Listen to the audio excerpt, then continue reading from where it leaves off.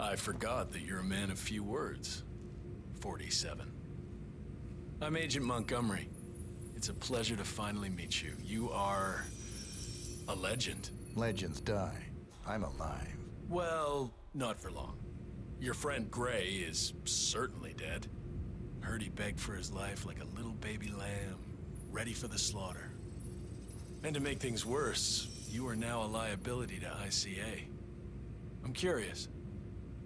What happened to you? The ICA has been compromised. You, of all people, should know it's not our job to ask questions.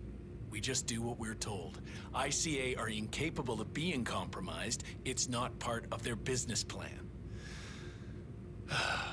well, anyway, it is truly an honor to finally meet you. Okay, that's enough talk. And don't take this personally. I have to admit, though, it's an even greater honor to be the one who took out the legendary 47. Because now it's time to die.